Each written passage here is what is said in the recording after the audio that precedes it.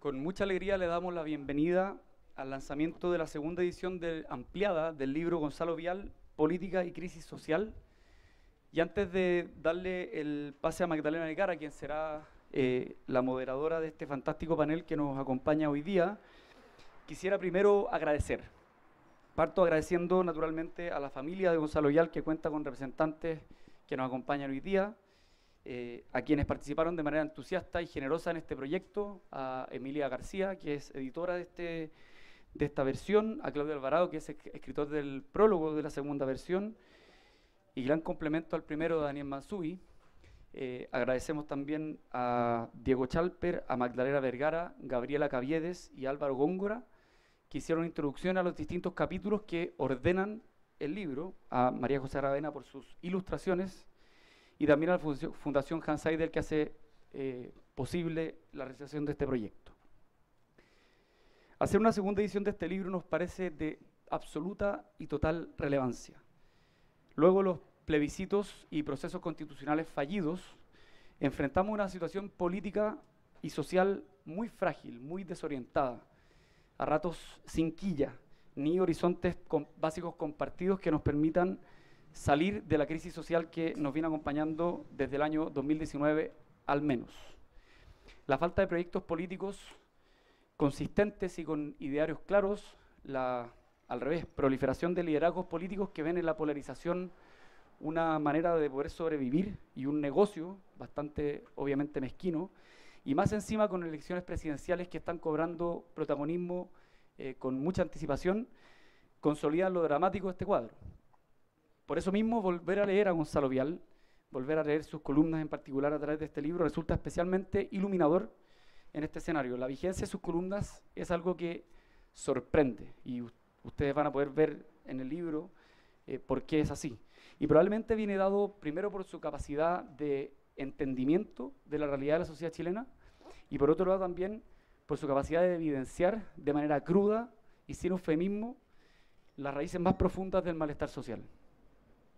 Gonzalo Vial encontraba en la causa de este malestar, que nosotros pensamos que es un malestar que es real, lo, identificaba en una crisis moral que crecía con un silencio mortal y que veía que la desintegración de la familia tendría efectos sociales que hoy vemos de manera cotidiana. Su opinión es un aporte fundamental para poder reflexionar y abordar los problemas que hoy nos afectan. Y, simplemente para cerrar, Recogemos de Gonzalo Vial su honestidad y su claridad intelectual para poder abordar la realidad, su libertad para opinar, naturalmente, eh, y sus públicas convicciones normativas desde las cuales abordó las discusiones y problemas sociales, políticos y morales. En sus columnas ustedes podrán apreciar que se aprecia su obsesión por atacar la pobreza desde la política, la importancia que le asignaba a los partidos políticos, la función pública, y la búsqueda de los consensos como rol elemental también de la política. Y también se observa una posición invariable que tuvo sobre la desaparición de las más de mil personas en el régimen de Pinochet, del cual él fue ministro, desapariciones que él entendía como un cáncer moral y como la herida más grave que ha tenido nuestra historia eh, en nuestro país. Todo lo cual, obviamente conjugado, solamente confirma que es muy difícil aplicar a Vial las categorías simplonas que suele satisfacer nuestra torpe necesidad por encerrar a las personas con, en moldes preconcebidos. Su figura y su biografía destacan a través de sus columnas, las que serán discutidas, digo, por el panel que Magdalena Vigara moderará con nuestros invitados para profundizar en estas reflexiones. Muchas gracias.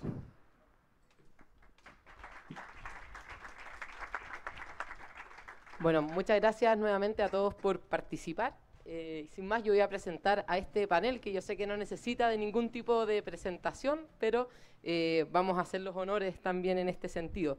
Eh, parto, por supuesto, con quien está a mi lado, el rector Carlos Peña, que es abogado, profesor universitario, desde el 2007, que es rector de la Universidad Diego Portales, y es columnista dominical también de El Mercurio, además de ser vicepresidente de CIPER Chile. También, bueno, sigo con Karine Bensperger, que es periodista, estudió periodismo y eh, eh, ciencias políticas en la Universidad Católica, eh, fue comentarista en Canal 13 por más de 25 años y actualmente también es fundadora de la Fundación Civis Chile, a través de la cual hacen un trabajo también especialmente en escuelas vulnerables. Y termino con Matías Petersen, que es de la casa, Matías. Él es doctor en Economía Política del King's College de Londres, es director del Centro Signos y también eh, investigador senior de Idea País. Así que muchas gracias eh, al panel. Y para partir la conversación, la idea es que cada uno de los panelistas eh, nos hablen por ocho minutos. Vamos a ser ahí medios estrictos en el tiempo para tener el espacio. Voy a hacer un par de preguntas y luego le vamos a dar, obviamente, la pregunta, la, palabra al público para que también puedan hacer una serie de preguntas. Eh, y para iniciar la conversación, y parto con usted, rector, eh, tomando un poco las palabras que comentaba Cristian Stewart, eh, nos parece importante el atender hoy día un poco y la razón por la cual publicamos este libro es cómo la figura, las palabras, eh, lo que nos entrega Gonzalo Vial, nos permiten iluminar especialmente los tiempos que estamos viviendo en este contexto político de crisis social, donde no parecieran haber tampoco proyectos políticos, ¿no es cierto?, atractivos eh, hacia, de cara al futuro, estando además a puertas de elecciones presidenciales. Entonces, ¿cómo en este contexto post-plebiscito, como comentaba Cristian, eh, donde debemos seguir haciéndonos cargo de las problemáticas eh, sociales, Gonzalo Vial entra con una vigencia y permite iluminar en ese sentido el escenario que estamos viviendo. A ver, ante todo, muchísimas gracias por eh, haberme invitado a participar de esta reunión y poder intercambiar algunas ideas acerca del libro que compila el trabajo periodístico parcial, sin ninguna duda, de Gonzalo Vial. Eh, a mí me parece que frente a la pregunta de si acaso eh, revista importancia, vigencia o relevancia eh, la idea expuesta en este libro por Gonzalo Vial, y si acaso su figura podría ser de interés para los problemas que hoy día quejan al país, para responder esa pregunta, digo, creo que podría ser útil detenerse en dos cuestiones distintas. Por una parte, en la figura de Gonzalo Vial como intelectual, y por otra parte en las ideas que expuso y que esta obra trasluce, aunque no agota del todo, puesto que Gonzalo Vial expuso buena parte de su idea además en su obra historiográfica.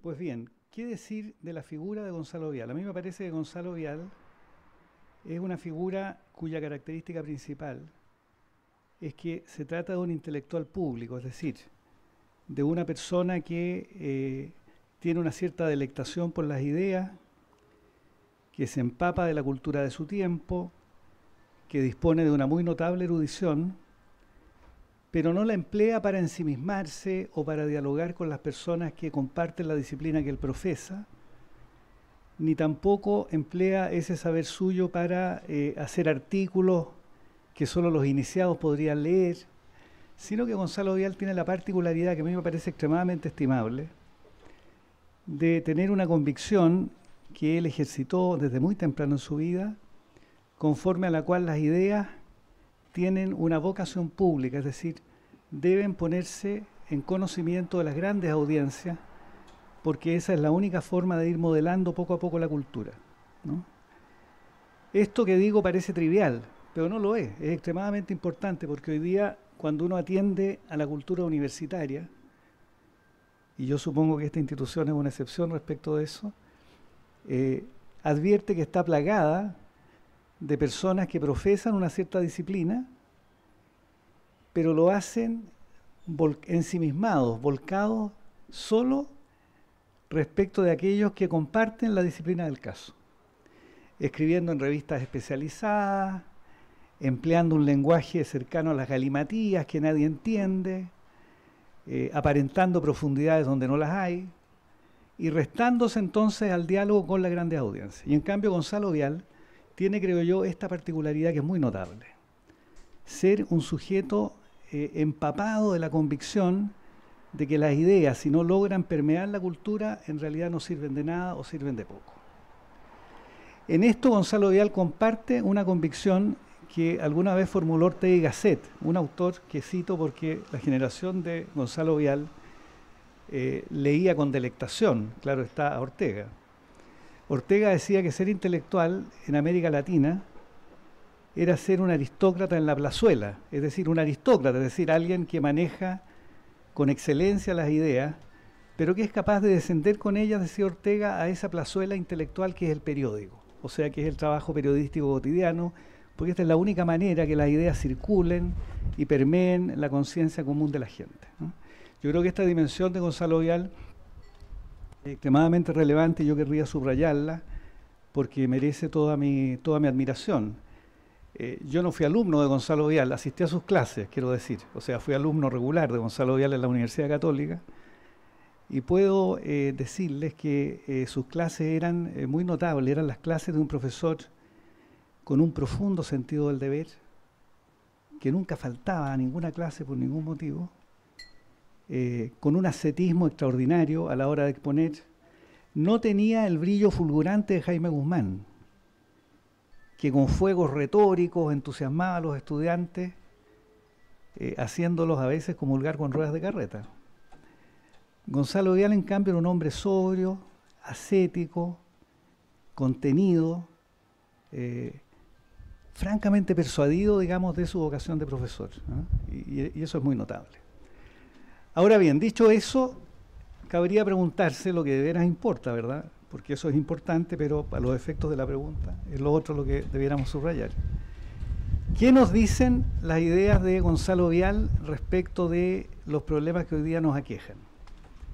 ¿Hay en esa idea alguna pista que nos permita resolver algunos de los dilemas que hoy día enfrentamos? Eh, ¿Salir de las encrucijadas en las que hoy día estamos?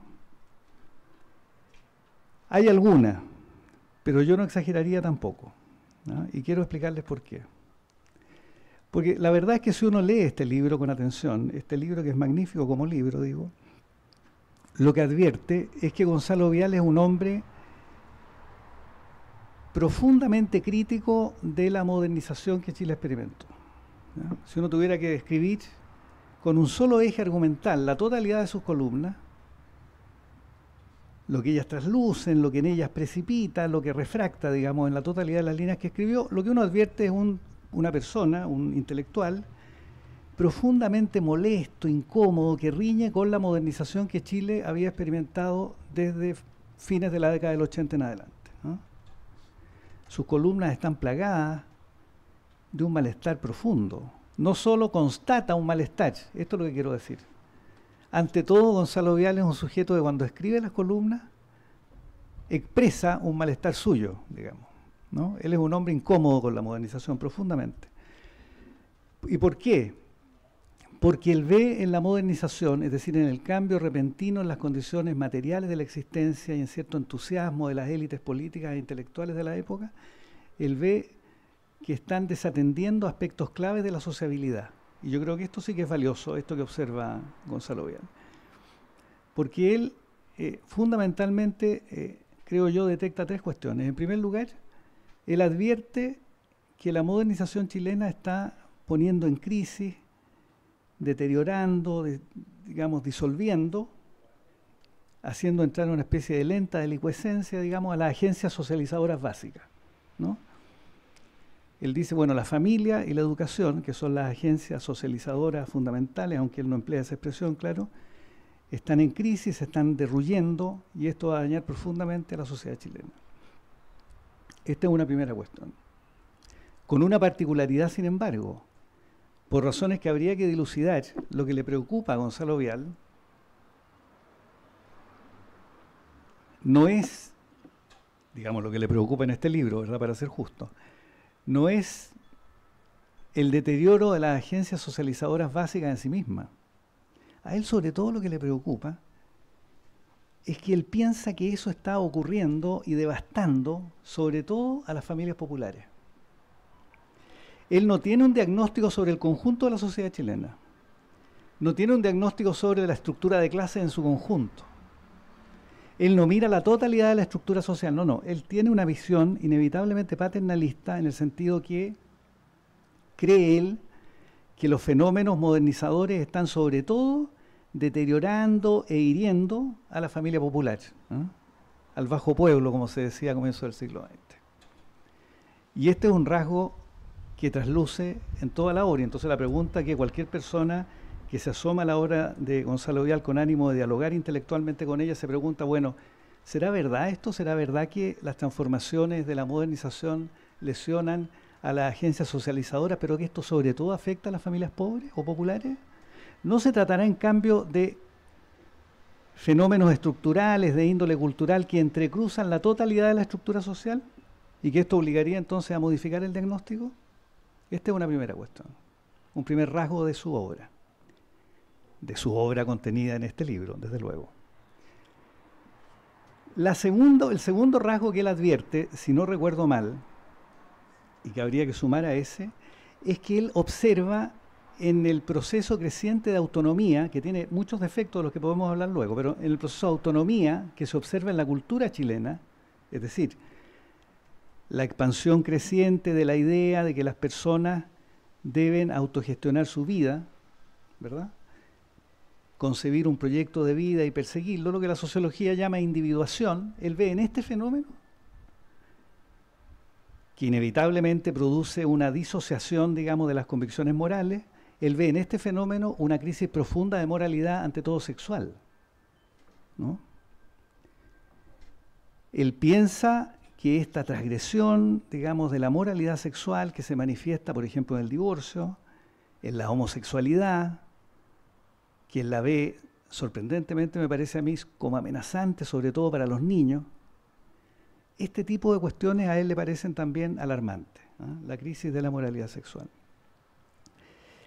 Y lo tercero, que es lo que a mí me parece más interesante a los efectos de nuestra conversación, pero ya voy a cerrar porque creo que estoy excediéndome, es que él ve en la modernización de Chile, yo creo que en esto apunta muy bien, aunque la idea es muy antigua, según ya voy a explicar, que lo que se está produciendo en Chile es una quiebra del consenso y que la sociedad no puede funcionar sin un consenso. Ahora, por consenso, Gonzalo Vial entiende una cosa que explicaba Spengler, que es un autor que Gonzalo Vial, cuando uno lee su obra, advierte que leyó muchísimo.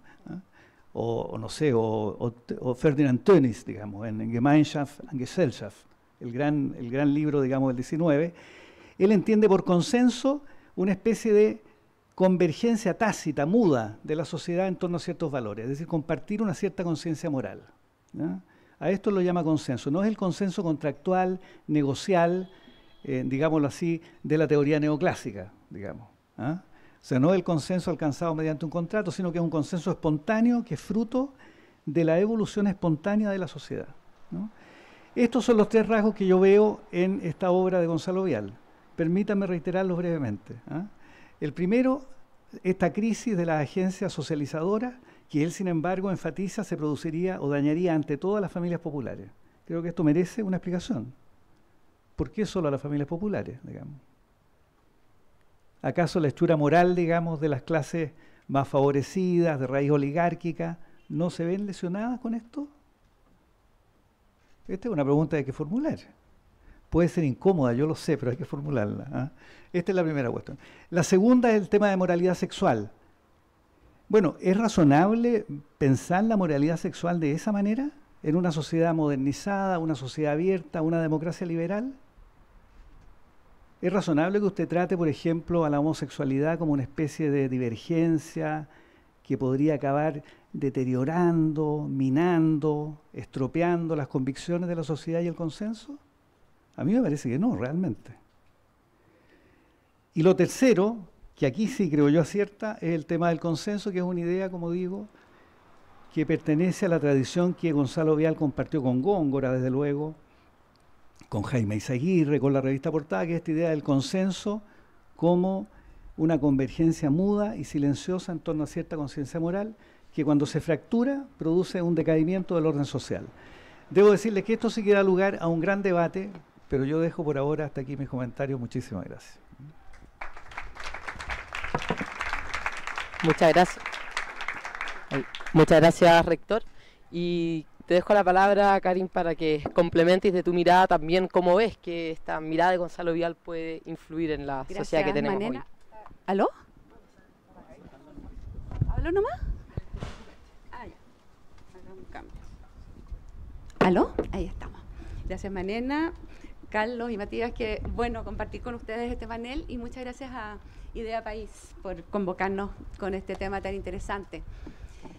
A mí me llamó la atención profundamente el, el rigor intelectual con que don Gonzalo Vial toma todos los temas sociales que a él le preocupan y me llama la atención también por lo fracturado que estamos ahora en el país, siendo él un señor eh, yo creo, conservador, un señor tradicional, que sin embargo él critica a la clase dirigente completa.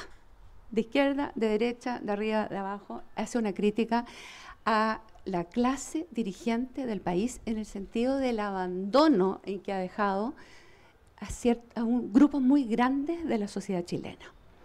Él toda su obra, o todo, como dice Carlos, lo que leemos en este libro en particular, todos estos artículos de él, están basados en el hecho de que hay una invisibilización de un porcentaje muy importante de, los chilenos, que todo el avance económico que él valora eh, no no, ha, permitido, desgraciadamente, la clase dirigente observar que muchos se quedaron atrás y que eso no puede llevar a un país que se desarrolle en armonía y que logre realmente un avance y un desarrollo, porque nos explica, el desarrollo no es sinónimo del PIB, del crecimiento, del, de, los, de los tratados internacionales eh, comerciales, que son todos muy importantes, y de eh, contener la inflación, que también es muy importante, pero dice, y lo voy a, eh, lo voy a citar aquí textualmente, dice, no sé dónde lo tengo, la batalla decisiva por el futuro y el progreso de Chile no se da en los tratados comerciales o en el control de inflación, ni siquiera en el solo crecimiento económico que es necesario, por supuesto. Esa batalla decisiva se libra a diario, secretamente, en las miles de escuelas dispersas a lo largo de Chile, desde Arica hasta Puerto Toro, donde el 90% de los niños reciben la educación básica. Yo no puedo estar más de acuerdo con esa reflexión de él. Y como decía bien el rector Carlos Peña, eh, para él hay un consenso básico que se ha roto en Chile y que es la preocupación por la familia tradicional, él la llama la destrucción de la familia tradicional, y por la educación de los niños más chicos. Y llama la atención, esto ya es una reflexión mía, que en este gobierno, no solo en este gobierno, a lo largo de muchos gobiernos, pero que en este gobierno en particular, que son personas que surgieron de las protestas para lograr una mejor educación, no sea esa, eso lo central eh, en, el debate económico, en el debate político sobre todo. Y a mí leer a Gonzalo Vial me ha hecho recordar mucho lo que mi padre me hacía ver, que era el concepto de economía social de mercado, porque él me hablaba de cómo se recuperó Alemania después de la Segunda Guerra Mundial y después del nazismo, estando en el suelo, y resulta que valorando el mercado, valorando la iniciativa privada como el motor del desarrollo en Alemania, sin embargo, el Estado subsidiario es un Estado que acompaña. ¿Y cómo acompaña sobre todo?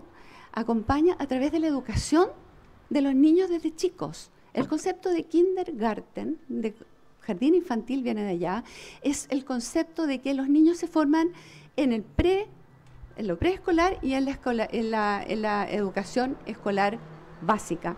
La universidad, con todo lo que me importa, rector, y con lo felices que estamos de que tantas personas estén accediendo a la universidad que antes no podían acceder, sin embargo, ya son un grupo que logra llegar arriba. Pero muchos chilenos pierden la oportunidad porque sencillamente la educación básica en Chile no está bien cuidada. Em,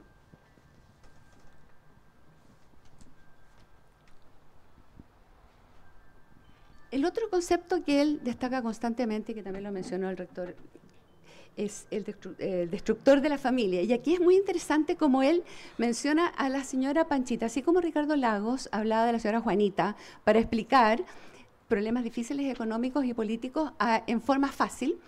Don, don Gonzalo nos dice, la señora Panchita es el epítome, el modelo de la moderna mujer chilena. Es jefa del hogar, antes conocida como mujer abandonada, dice él, pero hoy en día le dicen jefa de hogar, pero que claramente está sola educando a su prole con todas las dificultades. Eh, nos dice, miren, esto es interesante porque él aquí refleja cómo critica a moros y cristianos dentro de la élite de Chile. Los economistas liberales, dice, o sea, la centro derecha, y los sociólogos progresistas, dice, suelen derramar lágrimas de emoción ante el mayor trabajo femenino. La mujer, aseguran, se emancipa al trabajar, pero, dice, la señora Panchita no se emociona. Ella ha trabajado siempre y probablemente como no tiene plata ni tiempo para leer los reportajes de la prensa, no se entera de que la nueva mujer moderna, es la que posterga la, maternidad, consume cultura, logra especialización profesional, avanza en la esfera pública, pero la señora Panchita, ni las miles de mujeres solteras, madres solteras, ni las madres adolescentes viven esta realidad. Son las que se quedan atrás, las que tienen que postergar sus estudios, que tienen que renunciar incluso a sus estudios. Y ese es el Chile que en distintas facetas nos hace ver Gonzalo Vial, el Chile que se queda atrás. Y es el tema de la familia, donde él encuentra que realmente eh, está el gran problema. Él dice que tanto el matrimonio tradicional como la familia tradicional, ambas han perseguido casi todo lo bueno que se ha hecho en Occidente porque son instituciones milenarias que dan estabilidad a la sociedad. Eh, él era un hombre eh, respetuoso, compasivo y se encarga de decir que los casos particulares los respeta, pero dice lo que importa es el mensaje, es la la, política general. Y él considera que esto se ha abandonado y que no se valora. ¿Y por qué le importa, Rectoría? Ahí donde yo estoy un poco de desacuerdo con usted. No es que le importe eh, solo la familia más, de la gente más pobre, le importa en general, porque dice que eso conduce a que los niños, al no tener un respaldo de la familia, son involucrados en la delincuencia, en el narcotráfico, están abandonados, no tienen una red de apoyo. Y por eso le preocupa tantísimo, me parece a mí, según con la forma como yo lo entendí. Eh, habla también mucho de, de, la corrupción hace un par de décadas, ya lo veía. Y les voy a nombrar bien cortito, porque es sorprendente ver lo que estamos viviendo ahora y lo que él señala como cuáles son las condiciones objetivas que favorecen esta corrupción. El calamitoso estado de la administración pública, suena conocido. La discrecionalidad en el otorgamiento de beneficios estatales. El actuar de muchas municipalidades que disponen de dinero sin control y las organizaciones supuestamente con fines benéficos que disponen de dinero fiscales sin la mínima fiscalización. Eh, hace décadas venía diciendo estas mismas cosas que estamos viviendo hoy. Entonces, realmente llama la atención como él observaba un Chile que nosotros quizás no lo estamos viendo tan claro y él lo veía tremendamente prístino. Termino con un párrafo que me parece que resume la esencia de todo lo que él nos trata de decir para quienes todavía no han leído el libro, que es muy importante, es como la esencia para mi gusto de, todo de, de estas distintas columnas que se recopilan en este libro. Hay un país secreto, dice, el país de los desprotegidos, que nos molesta, que ocultamos. Lo ocultamos al resto del mundo y queremos ocultárnoslo a nosotros mismos. No queremos que se eche a perder la fiesta de los jaguares, los multicarriers, las redes computacionales, los ADR, etc. Si ese país secreto se exhibiera sin ningún recato, ¿qué dirían los tratados de libre comercio en, en América del Norte, en la Unión Europea? ¿Qué dirían los japoneses? Concluye. Una gran parte de nosotros una gran parte continúa acumulando abandono, sufrimiento y resentimiento en la periferia urbana. Y emplaza a los políticos finalmente. Dice que la vocación pública obliga a lograr consensos. No es para ir a pelear cuando uno llega a los altos cargos, sino que es su obligación conseguir consensos para llegar a una cohesión nacional sin la cual no se progresa en ninguna parte. Muchas gracias.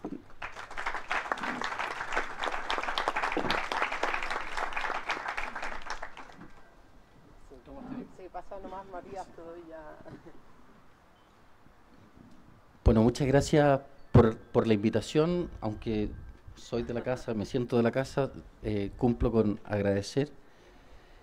También por compartir este panel con el rector Carlos Peña y con Karin. Yo de verdad eh, encuentro que la publicación en esta segunda versión del libro de don Gonzalo Vial es iluminadora Pero creo que antes de entrar en algunos puntos que a mí me parece que son relevantes en el texto, quisiera hacer dos prevenciones, ¿no?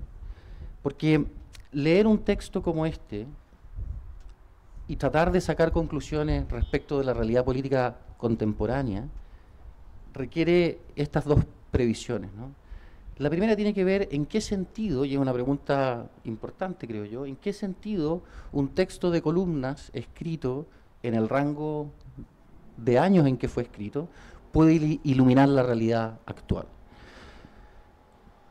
Es evidente que hay muchas luces que puede arrojar el texto en su, en su, totalidad, digamos, respecto de la realidad política contemporánea, pero también requiere un ejercicio de actualización de algunos de los argumentos, de quizás matizar algunos de los modos de expresar esos argumentos, de manera tal que sean inteligibles, ¿no es cierto?, a los problemas que enfrentamos hoy. Y lo segundo, sumado a lo anterior y añadiéndole dificultad a lo anterior, es que se trata de columnas escritas por un autor profundamente cristiano. Y la historia del cristianismo en los últimos 30 años, y en particular del cristianismo católico, eh, requiere, ¿no es cierto?, una reflexión adicional respecto de algunos de, de los temas señalados en el libro.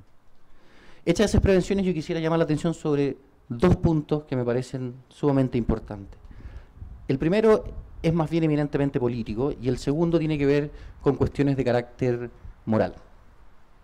Evidentemente la política y la moral tienen vínculos causales potentes, pero atendiendo a ese matiz, ¿no es cierto?, hay una distinción clara entre lo político y lo específicamente moral.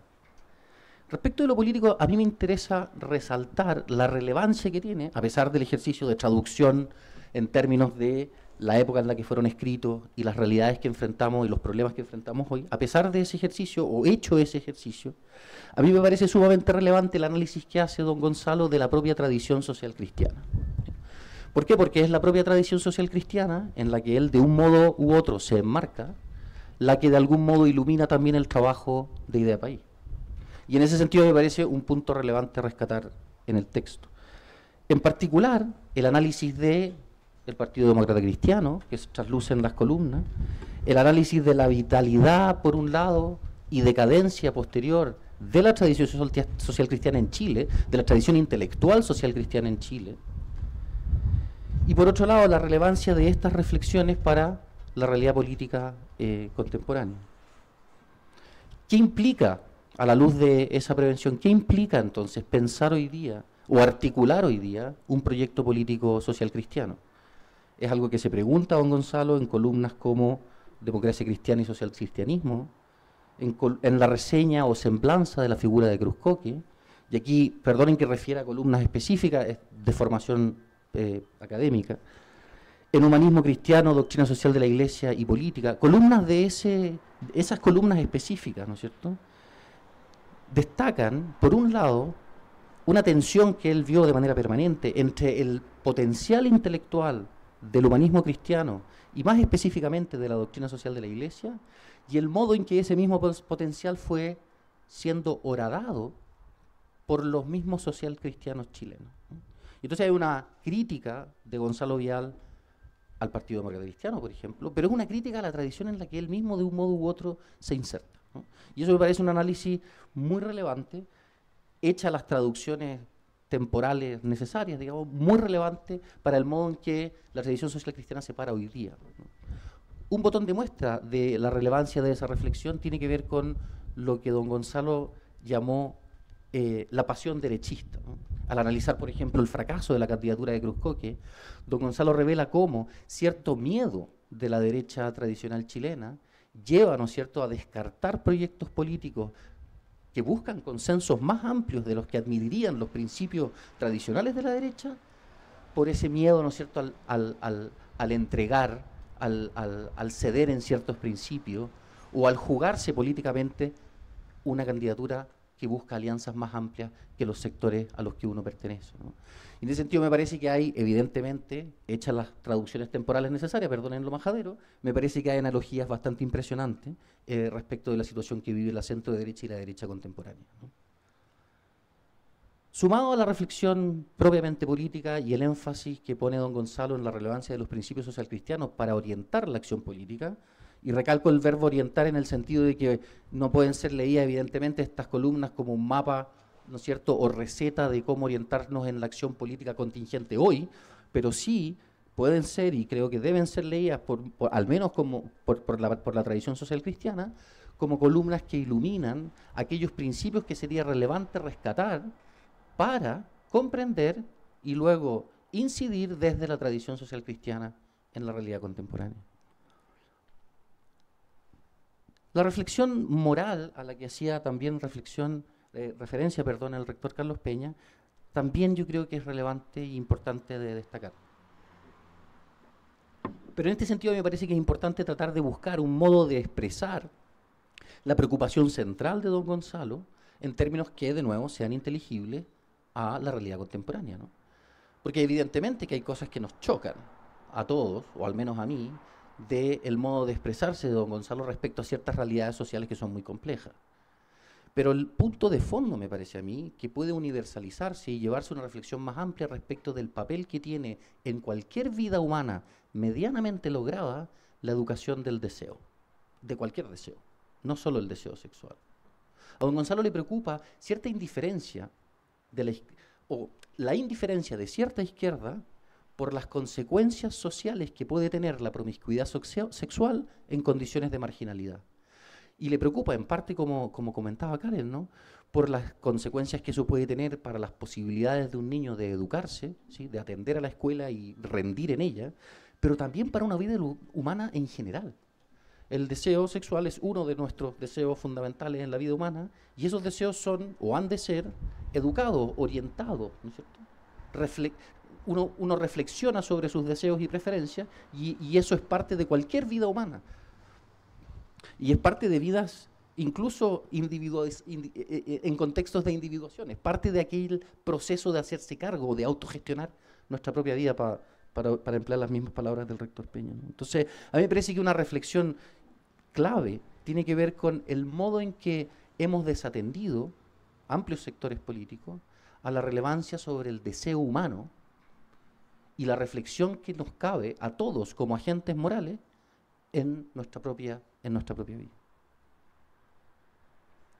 En parte también esto conecta con la reflexión transversal en todas las columnas de don Gonzalo respecto al papel de la familia. Y el papel de la familia, él lo ve, y sin, ser, sin querer reiterar demasiado lo que ya se ha dicho, él ve en la constitución de la familia que podríamos llamar tradicional, un elemento fundamental que permite no solo el desarrollo educativo de los niños, no solo ciertas, eh, eh, mitigar, digamos, ciertas consecuencias económicas de marginalidad y de pobreza, sino que, sobre todo, atender a la posibilidad que entrega la familia de que la gente desarrolle vínculos sociales estables. ¿Por qué? Porque a don Gonzalo le parece que la familia es aquel lugar en el que uno aprende a confiar. La confianza interpersonal la hemos casi ya manoseado suficientemente en los últimos cinco o seis años, digamos, la caída en los niveles de confianza interpersonal, el, el, efecto que podría eso tener en la confianza en nuestras instituciones políticas y sociales, etcétera, etcétera. Pero aquí hay algo muy profundo, creo yo, que es que es en la familia donde las personas son valoradas, ponderadas, queridas, no por sus logros, no por su mérito, sino simplemente por lo que son. Y esa experiencia de amor incondicional no puede sino tener consecuencias sociales. Esa experiencia de amor incondicional, o esa falta de experiencia de amor incondicional, no puede sino tener consecuencias sociales. ¿Cuáles son aquellas? ¿Qué importancia empírica tienen? Son pues preguntas abiertas. Pero, pero me, me parecería poco plausible asumir que los contextos de vulnerabilidad y marginalidad que don Gonzalo describe, y la consecuencia que eso tiene en nuestra capacidad para confiar en otro no tenga consecuencia en nuestro modo de relacionarlo social y, políticamente. Y entonces, si uno le da esa vuelta de tuerca al argumento, uno puede iluminar mucho más, quizá, problemas contemporáneos relevantes, como son las mentadas caídas en la confianza interpersonal, en la confianza en las instituciones políticas y sociales, etcétera, etcétera. Sin no quiero alargarme más, entiendo que estoy justo en el tiempo, pero quisiera, e, esa sería como una, invitación, ¿no? A, a, tomar esos argumentos que ha desarrollado Gonzalo y darle una vuelta de tuerca en términos de cómo afecta la vida familiar y la calidad de los vínculos familiares a nuestras relaciones sociales en términos más generales. Muchas gracias.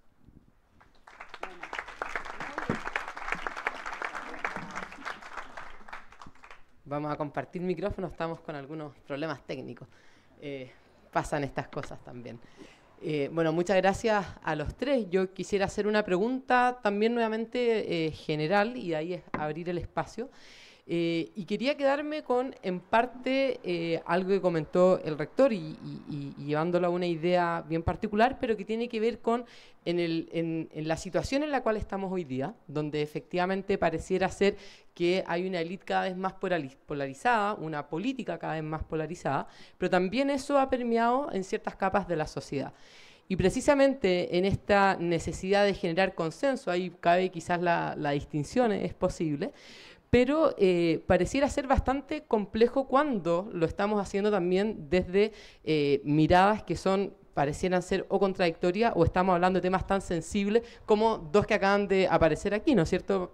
Parte de lo que eh, comentaba Matías, que tiene que ver con cómo entendemos a la familia, qué pensamos de ella, con cambios sociales que también estamos viviendo hoy día que son significativos, especialmente cómo los jóvenes perciben a la familia, los vínculos, eh, etcétera, y también eh, aspectos que tienen que ver como la sexualidad, en fin. Entonces, estamos hablando de ámbitos que no solamente tenemos que ponernos de acuerdo por algo, eh, en cierta forma como en sentidos técnicos, no sé, en pensiones que estamos discutiendo, sino en cuestiones muy profundas que tienen que ver con las bases de nuestra sociedad, de cómo entendemos nuestro ordenamiento que es un poco, lo decía Karen, como parte de lo que eh, se ha roto quizás esas cuestiones básicas desde las cuales nosotros eh, nos sentábamos para poder discutir esa sociedad. Entonces, ¿cómo se genera eh, para su, en su mirada esa posibilidad de, de consenso?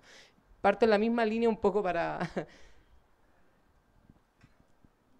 A ver, ante todo, me parece a mí habría que decir, a propósito de la última exposición que me pareció muy inteligente, muy, muy sagaz, digamos, como lectura de Vial, eh, que uno puede desde luego coincidir incluso con Gonzalo Vial en la afirmación normativa de las cuestiones que en este libro se señalan. O sea, uno podría estar de acuerdo, y cualquier sociólogo, a no sé que sea estúpido, estaría de acuerdo, que sin agencias socializadoras la sociedad no funciona. O sea, el orden social, enseñamos en sociología, ¿verdad? Eh, se estructura de esa manera. Luego, si no hay agencias socializadoras, efectivamente el orden social no existe, no logra constituirse. El problema político, sin embargo, no es para hablar de política, porque podríamos hablar de las cuestiones normativas, pero eso es filosofía moral, digamos. La cuestión política es de otra índole, no consiste en afirmar normativamente lo que yo creo, porque creemos cosas bien distintas, dicho sea de paso.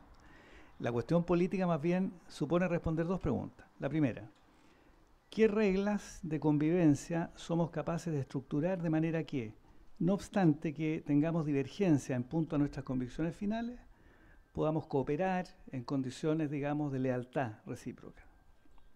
Esta es una primera cuestión.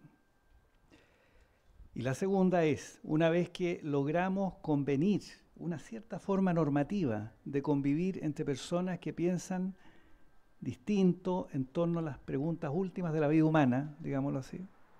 Una vez que logramos eso, la segunda pregunta, la segunda cuestión política de veras es la siguiente.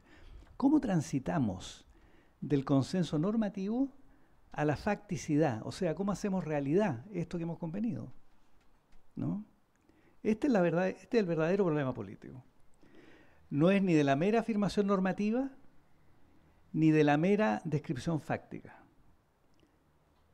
¿Verdad? Es decir, por eso los filósofos morales no son buenos políticos y los sociólogos suelen ser un desastre como políticos. El político tiene una virtud específica. Sabe mediar entre el ideal que afirmamos y en el que creemos y la realidad en medio de la cual nos desenvolvemos. En esto consiste la política. Y entonces, esta pregunta me parece a mí, y este problema está, este es el problema que está en Chile sin solución. No, sabemos cómo transitar desde la afirmación meramente normativa a la facticidad. ¿Cómo se hace esto? Cabría preguntarse. ¿ah? Y acá volvemos sobre una idea nuevamente de eh, Gonzalo Vial, que es muy vieja, que viene, en este caso, de la República de Weimar, nada menos. ¿ah?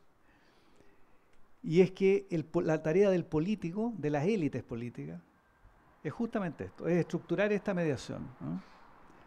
Entonces la tarea del político consiste justamente en lograr generalizar una cierta convicción normativa de manera de persuadir a las personas y poco a poco permear la cultura hasta que la facticidad pueda ser realizada. En esto consiste la tarea del político. Por eso Max Weber cifraba en el político carismático toda la única posibilidad de la democracia de masa. Cuando uno lee a Max Weber en los textos de los años 20, se sorprende. Max Weber decía, mire, el futuro de la democracia, el único futuro posible de la democracia de masa, que es la que hoy día tenemos, son los políticos carismáticos. Es decir, el político dotado de gracia, que con ascetismo suficiente, con sentido del deber y responsabilidad, es capaz de mediar, de generalizarse estas convicciones en la vida social. Y entonces, si ustedes me preguntan a mí cuál es el problema que Chile hoy día padece, yo diría es que no tenemos ese tipo de políticos. ¿no? tenemos políticos carismáticos en el sentido beberiano de la expresión. Tenemos políticos populares, simpáticos, entusiastas, etcétera, pero no políticos carismáticos, ascéticos, ilustrados. De esto no tenemos. Entonces no tenemos este mediador que es capaz de generalizar convicciones en la esfera de la cultura, sumar voluntades y constituir un cierto orden. Este es el problema que tenemos en Chile. No podemos aspirar, creo yo, a que, a, que los chilenos y chilenas compartan las mismas convicciones morales últimas. No, no lo podemos aspirar a eso. Usted no, usted no puede aspirar a eso sin sacrificar los valores propios de una democracia liberal. Usted puede aspirar a que su quehacer en la esfera de la cultura generalice sus convicciones, ¿verdad? Esto sí, y es deber de quien tiene y está convencido de ciertas cosas, esforzarse por esparcirlas, difuminarlas, eh, infectar, digámoslo así, con las propias ideas al conjunto de la cultura. Lo que uno no puede hacer es institucionalizar sus convicciones normativas particulares. Esto no lo podemos hacer. Entonces, el desafío, el desafío de un político cristiano para ir a este tema que ha sido mencionado y que yo creo que es un tema relevante realmente, no es institucionalizar sus convicciones morales, suponiendo, dicho sea de paso, que el cristianismo tenga unas únicas convicciones morales, pero dejo en paréntesis ese problema. Supongamos que tenga algunas básicas. La tarea del político cristiano no es institucionalizar esas convicciones suyas, la tarea del político cristiano es permear la cultura. Y su deber, un deber de caridad por lo demás, consiste en respetar las convicciones ajenas a nivel institucional. Este es el desafío que hoy día tenemos por delante, creo yo. Y si ustedes me preguntasen cuál es el déficit que la cultura pública en Chile experimenta, es la carencia, y en esto creo que Gonzalo Vial estaría plenamente de acuerdo, es la carencia de élites entendidas como grupos ilustrados, ascéticos, que quieran tener la razón. Así lo diría yo. Pero hoy día nadie quiere tener la razón, todos quieren ser populares. A nadie le interesa tener la razón. ¿Verdad? Este es el problema. Entonces, necesitamos gente ilustrada, o sea, culta, que quiera tener la razón y que tenga una cierta vocación ascética de servicio. Eso es lo que necesitamos. En la derecha y en la izquierda. ¿ah? Porque en uno y otro sector político, según observo yo hoy día en Chile, lo que hay son personas superficiales, frívolas, y básicamente ignorantes, ¿ah? gruesas, toscas, eh, entusiastas con la popularidad, seducidas como adolescentes con las redes sociales. Ese es el tipo de político que hoy día tenemos. Mientras no tengamos políticos en el sentido beberiano de la expresión gente con sentido de la responsabilidad, ¿ah? es decir, gente ilustrada, con capacidad de ascesis, y con compromiso público, esto no se va a resolver, porque repito, la tarea de la política, que es mediar entre los ideales normativos, como los que antes se mencionaban, y la facticidad, la vida que tenemos, digamos, mediar entre ambos niveles es tarea del político, pero no del político que simplemente suma voluntades y gana elecciones, no, no, el político que es capaz de esparcir convicciones en la esfera de la cultura. Este creo yo es el problema que tenemos hoy día en Chile. Carlos, muy de acuerdo, muy de acuerdo. Y yo creo que, bueno, nos estamos saliendo un poco del libro propiamente tal, pero si vamos a reflexionar sobre el estado de cosas en nuestro país ahora, también me preocupa el tema que usted señala de la élite, Carlos, porque mm, tanto a nivel económico como a nivel político, no vemos personas que sean que, iluminen. El propio Gonzalo Vial en su en esta recopilación hace unos estudios de distintas personalidades y don Pancho Bulne, el propio presidente Allende, de distintas personalidades que ha tenido la historia de Chile. Y uno ve ahí cómo analiza en profundidad personas que realmente tenían una profunda vocación patriótica, diría yo, o no sé si es la palabra exacta, pero de compromiso con la sociedad y al mismo tiempo una gran cultura y un gran compromiso con las políticas públicas. Uno ve mucho frivolidad efectivamente.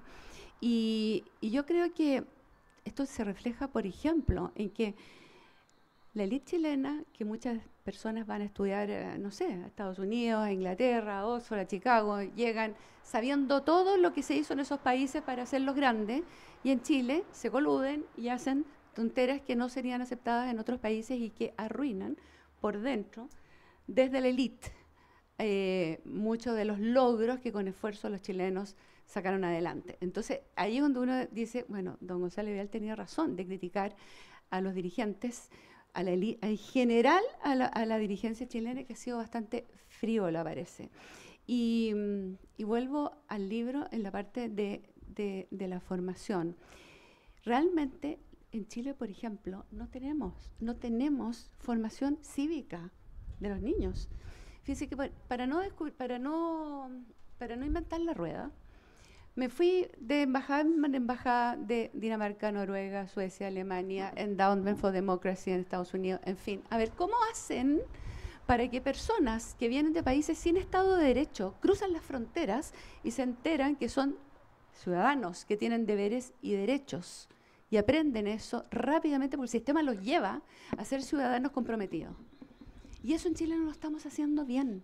No, no, no estamos formando a los niños desde chicos en eh, el respeto cívico, en el deber cívico, en el respeto de las cosas públicas, por ejemplo. Es gratis no ensuciar, es gratis respetar el busto de Arturo Prat, no tengo idea. Yo a mis nietos los hago cuadrarse cuando pasan delante el busto porque el gran, el valiente Arturo Prat, si uno nos enseña este tipo de cosas, perdonen, pero realmente está faltando la formación cívica en Chile. Y me he encontrado con muchas personas de la centro derecha y de la derecha que uno le dice, falta formación cívica. Ah, no, es que se presta para adoctrinar. Pero por favor, hagámoslo bien. Si no tenemos que adoctrinar políticamente, se trata de, del compromiso cívico de vivir el país con respeto. Nos está faltando todas esas cosas. Y yo veo en este libro y en estas, en estas columnas de Gonzalo Biel una preocupación, preocupación grande por esta falta de civilidad, por, por, por, la clase dirigente de todos los colores políticos, porque, como decía adelante, habla del sociólogo, eh, ¿cómo lo, progresista y del, del, economista liberal. En fin, a todos los metía en el mismo saco de la frivolidad.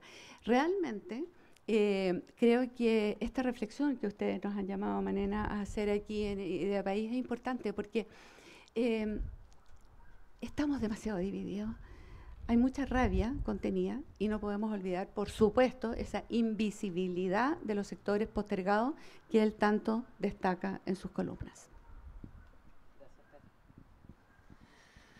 No, muy breve. Yo, yo en términos generales estoy muy de acuerdo con lo que se ha dicho, en particular con esta, em, esta tarea, ¿no es cierto?, que le asigna eh, el rector Carlos Peña al político, ¿no?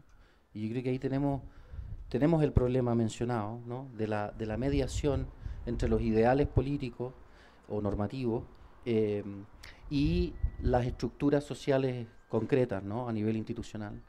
Pero además tenemos un problema adicional, creo yo, que, agrava lo anterior, o que dificulta más la emergencia de dichos políticos, que es la fragmentación moral, no dicho en términos normativos, digamos, sino fácticamente, la, fragmentación moral de la sociedad chilena. O sea, los procesos de modernización acompañan, suelen, suelen traer aparejados, ¿no es cierto?, fragmentación de visiones de vida, eh, o, diversidad de visiones de vida, de lo que es una vida lograda, una vida humana medianamente lograda. Y en esos contextos se hace más difícil incluso llegar a un cierto ideal de contenidos mínimos normativos que pudiéramos respetar, ¿no? O sea, porque si el político baja, aterriza, media, ¿no es cierto? Ese ideal regulativo a las condiciones fácticas actuales, es porque de algún modo hay algún consenso mínimo posible. Y hoy día yo creo que eso incluso está de un modo u otro amenazado. Amenazado por cuestiones culturales que tienen que ver con la fragmentación moral a la que me refería, pero también por cuestiones institucionales. ejemplo, la relevancia, creo yo, al menos personalmente, de la discusión en torno a una posible reforma del sistema político.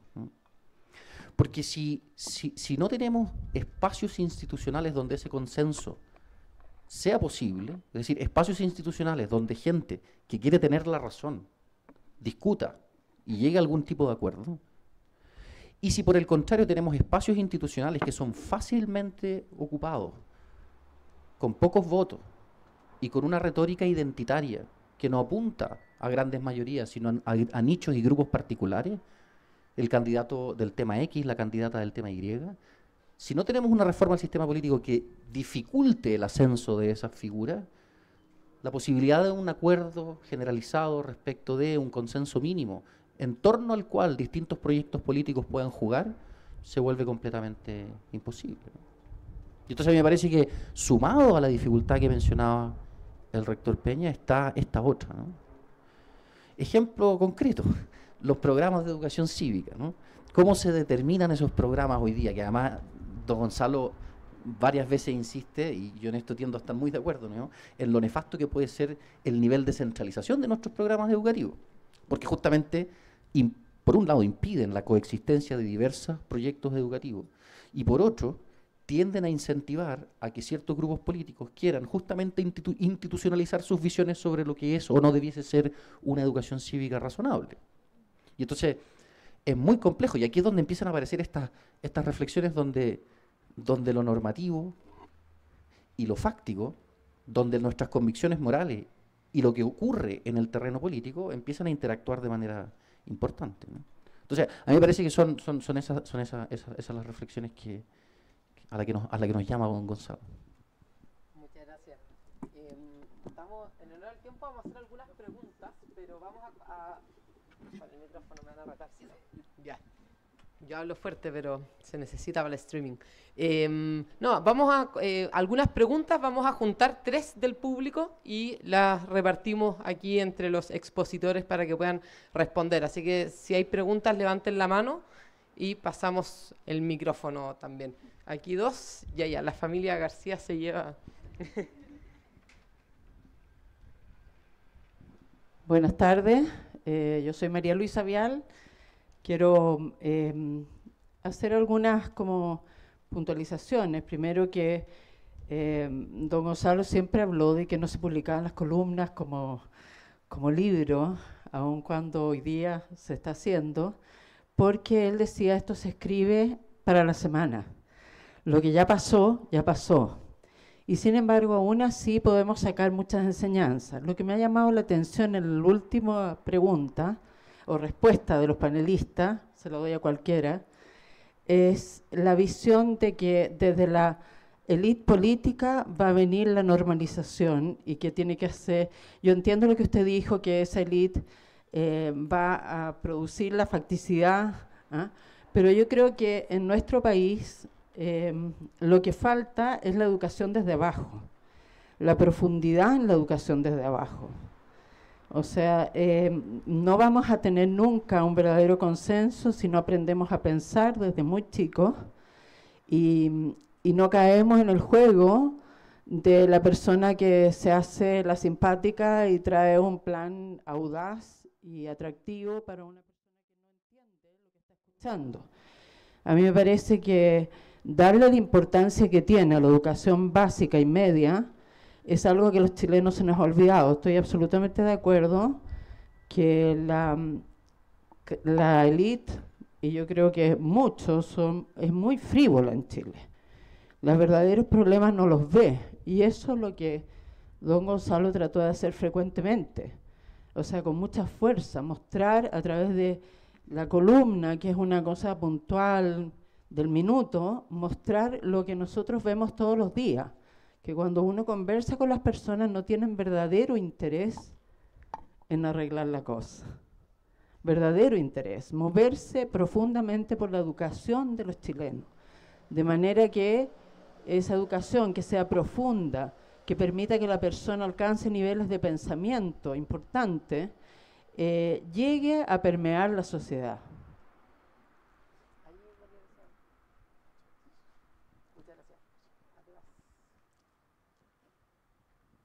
Muchas gracias, buenas tardes. No, voy a ser como mi antecesora de lanzar la pregunta a los tres porque corro el riesgo de que les parezca irrelevante a los tres y no me conteste nadie.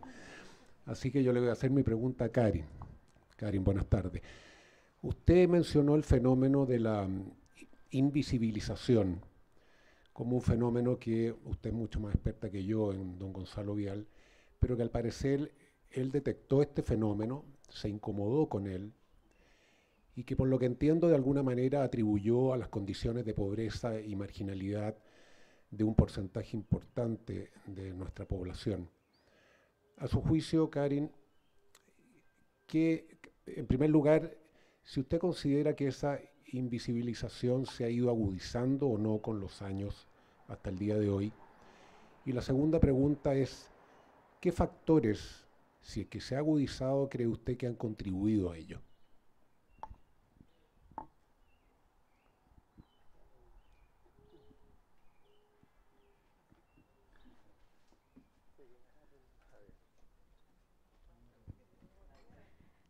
Em, dado que el primer García hizo la pregunta a, Karin, yo les hago la pregunta al rector y a Matías.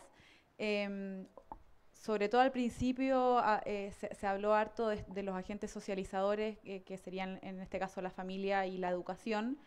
Em, dado que la modernidad, en, palabras de Vial, pero también el panel parece que estar de acuerdo, eh, parece estar eh, degradando la familia y la educación y, también creó la, democratización de los espacios eh, como la familia y la educación.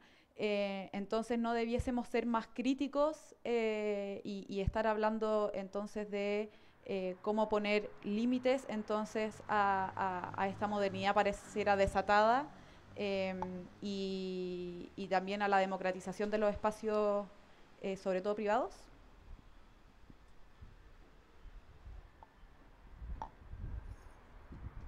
Ya, muchas gracias y lamentablemente por el tiempo vamos a tener poco tiempo para las respuestas, así que les pido eh, ser concisos dentro de lo posible. Voy a partir ahora con Karin, que tuvo la primera pregunta interpelada. Ya, muchas gracias por la pregunta. Efectivamente, eh, central en la obra de don Gonzalo es el hecho de que el país progresa un poco y mucho en, materia económica, pero se invisibiliza a un porcentaje muy importante de la población que no logra este desarrollo. Y la pregunta es si esto se ha, aumentado, esta invisibilización. Eh, yo tengo la, la, la, yo tengo la sensación de que como el país progresó desde el punto de vista económico, efectivamente, y se llegó a más personas con, el, con, con, la posibilidad de que surgieran, em, no creo que haya aumentado, pero sí está presente eso. Y gran parte de, no la violencia del estallido social, que esa debe ser condenada absolutamente y creo que ahí el rol de cierta prensa también contribuyó a que no fuera condenada con la fuerza que debió ser condenada la destrucción. Pero yo creo que, al margen de ese horror, creo que la parte de, del millón de personas que salió en las distintas ciudades de Chile a protestar por un, por un, por un cambio de fondo en, en, en, en la forma de relacionarnos y en la forma de cómo la economía debe llegar a todos, eh, yo creo que quedó en evidencia que esa invisibilización existe y sigue existiendo y crea mucha rabia, mucho resentimiento. Por lo tanto, por eso yo nombraba la economía social de mercado, porque cuando tú tienes países como Japón y Alemania destruidos por una guerra, pero pueden organizar una, una, sociedad en que junto con el avance económico se mira a quienes están quedando atrás y se ve cómo ayudar a esos que están quedando atrás a través de políticas sociales focalizadas, serias, no que no dilapidan el dinero de todos los chilenos en tonteras, sino que realmente se enfocan a solucionar con buenos políticos que no tenemos, en fin. Bueno, yo creo que por eso nombraba el caso eh, posguerra alemán, porque creo que la economía social de mercado debe hacerse cargo de buenas políticas públicas que solucionen los temas sociales y no lo estamos haciendo bien en ese sentido. Sí, estoy orgullosa de cómo Chile progresó en muchos aspectos económicos. Creo que no podemos dejar de ver eso y por lo tanto muchos salieron de la pobreza y eso aplaudo. Pero quedaron estos bolsones que él se encarga de destacar tanto y que no nos estamos haciendo cargo y están creciendo de nuevo. Muchas gracias. Em, sigo quizás con Rector y hay dos preguntas pendientes, por si acaso, para no olvidar ahí. Sí, yo me voy a referir brevemente a las dos preguntas pendientes. Eh, yo creo, bueno, no, no, ha habido tiempo, desgraciadamente, de detenernos en este aspecto. Yo creo que efectivamente la cuestión educativa es la clave. Y tal vez habría que pensar mínimamente siquiera cuáles son los obstáculos y las causas que han conducido a la debacle que hoy día estamos experimentando. Yo creo que hay varias. Déjenme listar las más evidentes, las más obvias. Primero, hay una cuestión relativa a la formación de profesores en Chile. Hasta los años 70 en Chile, para que ustedes eh, lo recuerden, los profesores se formaban en dos circuitos formativos. Había profesores para aquellos que iban nada más que al sistema, digámoslo así, alfabetizador de la educación básica, y otro grupo de profesores formados en el pedagógico de la Universidad de Chile, ¿verdad?, para las élites que iban a la universidad. Es decir, tuvimos en Chile, esto es increíble, hasta los años 70, lo hemos olvidado, dos circuitos de formación de profesores. Uno para proletarios, como se llamaban las escuelas en 1920, otro para las élites. Lo que hizo la dictadura fue intentar remediar esto, eh, al trasladar la formación de profesores a las universidades, pero no funcionó del todo por motivos que alguna vez podríamos discutir. Pero hay una larga tradición en Chile, una larga tradición, de una formación de profesores diferenciada. La escuela normal para proletarios, el instituto pedagógico para aquellas mínima porción de la élite que egresaba del ciclo de educación escolar e iba a la universidad. Este es un primer factor. El segundo son las ideologías pedagogicistas que hoy día se enseñan en las escuelas de educación. El constructivismo, la idea que usted puede enseñarle a los estudiantes, espíritu crítico eh, y una especie de aprendizaje inductivo a través de materiales que los propios estudiantes estudian, digamos. Esto es una tontería, una tontería que ha sido discutida. En sociología de la educación, Bernstein probó que esto era, era absurdo hace, no sé, 50 años. Pero en Chile todos hacen oídos sordos a esto. Usted no puede enseñar a niños con prescindencia del capital cultural de que son portadores. Usted aprende a hablar, aprende matemáticas, etcétera, a través de la autoridad, no inductivamente. Esto lo dice Wittgenstein en un famoso libro que se llama Sobre la certidumbre. Dice, ¿cómo aprende usted a contar? Infiriendo que existe el cero. No, no, dice Wittgenstein. Alguien le dijo que existía el cero y usted lo creyó. Si usted no cree eso, bueno, no puede contar simplemente. Entonces, esta, idea de que educar consiste, por decirlo así, en despertar un saber inductivo que estaría, del que serían portadores los estudiantes es una tontería, pero esta tontería ha infectado prácticamente a todas las escuelas de educación y ha devaluado el papel del profesor a un mero animador de la sala de clase. Esto también ocurre en las universidades los profesores que ponen PowerPoint y leen un PowerPoint en la clase, o dan materiales y hacen una especie de show, digamos, en torno a PowerPoint, a mí me ha parecido siempre algo patético. Pero ese es un segundo factor, el tema de la ideología pedagógica. Y el tercer factor, que es muy importante también, es que el sistema escolar en Chile ha estado eh, diseñado al compás de la estructura de clase. Este es un problema. Gonzalo Vial lo veía muy bien esto. Al compás de la estructura de clase el sistema escolar en Chile remeda con fidelidad la estructura de clase. los colegios se agrupan dependiendo de la renta de los padres. Y no hemos logrado corregir esto. Llevamos 10 años discutiendo esto y no hemos logrado corregirlo. Entonces yo estoy totalmente de acuerdo con usted en eso que usted menciona, aunque creo que esto daría lugar a otro tipo de debate. Y respecto de la cuestión de si, bueno, si las agencias socializadoras son tan importantes, ¿por qué no ponemos límites a la democratización, como suele llamárselo, o sea, a la entrada de la libertad concebida políticamente al interior de las instituciones básicas de la sociedad? Eh, yo creo que esa es una cuestión que hay que pensar. ¿ah?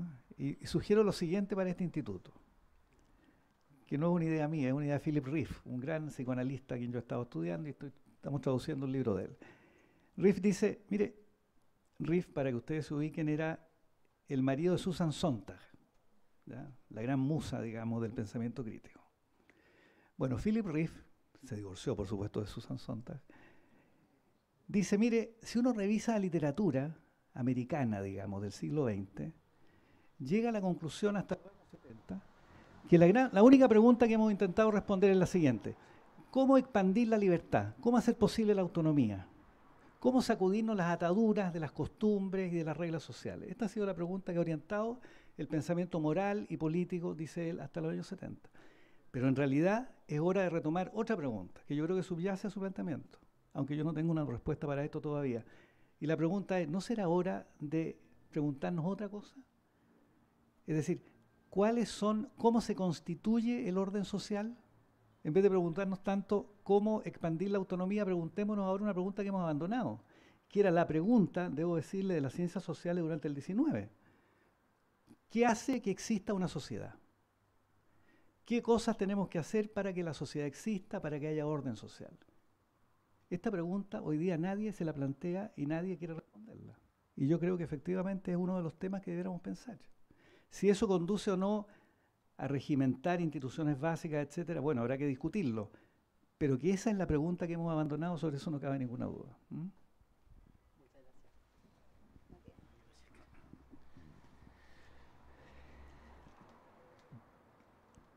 Yo creo que las dos preguntas tienen una conexión implícita y que ha sido apuntada indirectamente quizás por el rector Carlos Peña, y es que existe evidentemente una tensión entre el principio democrático, digámoslo así, para usar la terminología toqueviliana. Yo sé que en Idea País ha estado estudiando el libro reciente de mi amigo Daniel Mansoy, así que eh, puede ser relevante esa reflexión, ¿no? Entre el principio democrático y la idea de autoridad. Y eso tiene un efecto importante tanto a nivel escolar como a nivel familiar. ¿sí? Entonces, la idea, el ideal democrático, entra en tensión de algún modo con la idea de autoridad. Porque la idea de autoridad presupone que no hay una horizontalidad total, que hay al menos aspectos de la vida humana en los que yo debo, al menos en un principio, someterme al criterio de otro. Luego podré, con el paso del tiempo, evaluar los criterios que orientaron mi acción inicialmente, pero, pero toda práctica humana, la educación, la ciencia, un deporte, presupone someterse, al comienzo al menos, a la autoridad de otro. Y esa autoridad tiene razones para actuar. ¿sí? El poder no es, como algunos autores podrían sugerir, ¿no es cierto?, meramente arbitrario. Y entonces, esas razones que la autoridad da de por qué un logaritmo se calcula de tal manera, ¿cierto? O de por qué es relevante leer a Ercilla, esos criterios tienen una tradición, hay argumentos que los iluminan, y yo cuando me inicio en cualquiera de esas prácticas, acepto, al menos en principio, esos criterios. Y entonces, cuando el ideal democrático, como bien apuntaba el rector Peña, es nuestra pregunta fundamental, perdemos de vista el papel sociológico fundamental que cumple la autoridad en general, en la familia, en el colegio y en la vida política. Y entonces en ese sentido es que creo que el problema de la tensión entre autonomía y autoridad está presente tanto en esas dos agencias socializadoras de las que hablaba, de las que hablaba don Gonzalo. Creo sí que para empezar así a esbozar un intento de mapa conceptual para pensar en este problema, habría que distinguir entre procesos de modernización en cómo se emplea el término en jerga sociológica y modernidad. como concepto cultural. Porque modernidades hay varias, ¿no? Hay una modernidad ilustrada continental, hay una modernidad ilustrada escocesa, hay una modernidad católica, si uno quiere. Y en ese sentido me parece que un juicio demasiado amplio y general respecto del efecto causal de la modernidad en la estructura familiar requeriría, para tomarse en serio la pregunta, una serie de matices históricos que evidentemente habría que eh, tomarse muchos días para hacerlo. ¿no? Así eso.